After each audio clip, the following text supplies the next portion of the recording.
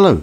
In the very first electronics video on my main channel, I showed this, which is a tiny little power management IC, which only came as a surface mount, so I soldered it onto this adapter board.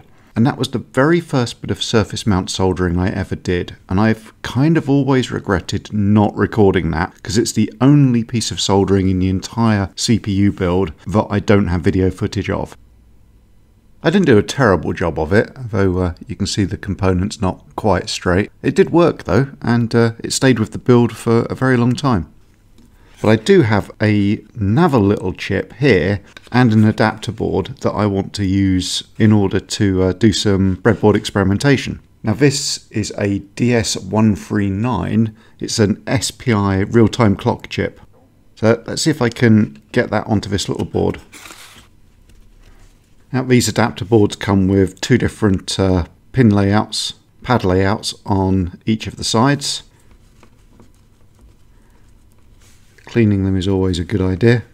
Now people have asked me what these wipes are I clean the PCBs with and it's actually a alcohol based lens wipe and specifically I use one of these to clean my cameras before I start recording on any given day and if you go back to some of my early videos you'll see they're slightly fuzzy because uh, they predate me doing that. They dry out pretty quick but uh, they're good for PCB cleaning before soldering.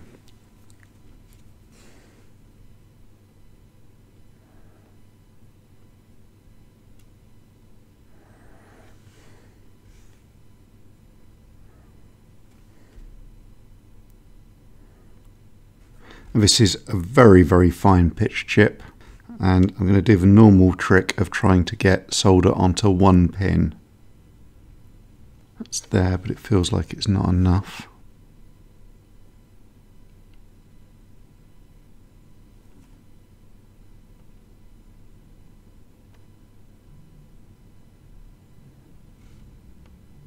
Okay, that alignment feels pretty good.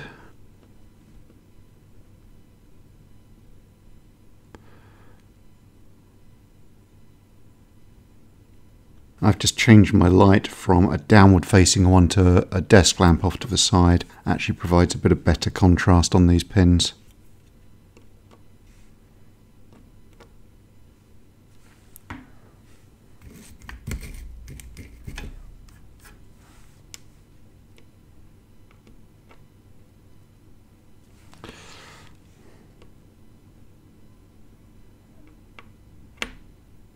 Now that looks like a pretty good job.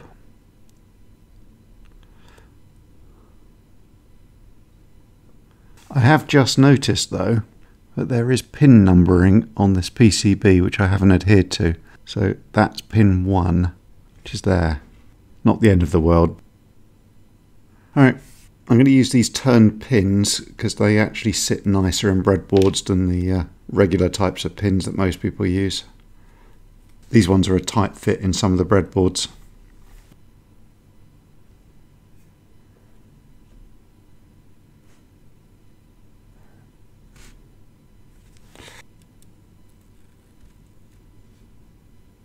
Now I have had it where I've damaged breadboards by soldering with pins in them like that, so uh, I'm just going to put a couple of pins into anchor and then do it by hand.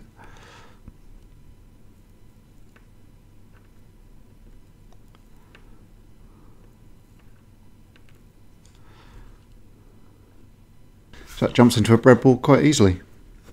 I do need to remember that uh, pin 1 is not where it's marked there, but uh, apart from that, that should let me experiment with this chip on breadboard. Okay, hope that was interesting. Goodbye.